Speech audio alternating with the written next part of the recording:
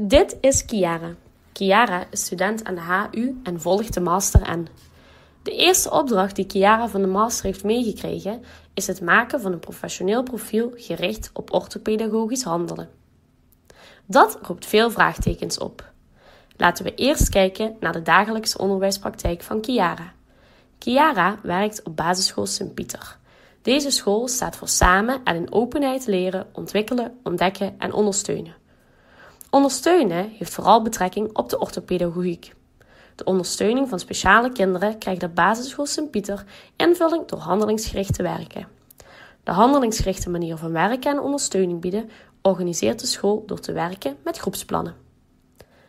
Nu terug naar Kiara. Natuurlijk volgt Kiara de visie van basisschool Sint-Pieter. Maar hoe denkt zij zelf over orthopedagogisch handelen? Haar visie op orthopedagogiek is haar eigen mix van drie zienswijzen: het oplossingsgericht werken, het bio-ecologisch model en de interactionele benadering. Dit betekent dat Chiara uitgaat van een goed orthopedagogisch basisklimaat, waarin kernwaarden als echtheid, onvoorwaardelijke acceptatie, respect en waardering, empathisch begrijpen, sensitiviteit en responsiviteit centraal staan. En dat haar onderwijs oplossingsgericht is. Chiara moedigt leerlingen in haar onderwijs aan om datgene te doen wat hen al eerder geholpen heeft. Chiara probeerde samen met de leerlingen een oplossing voor het probleem te bedenken.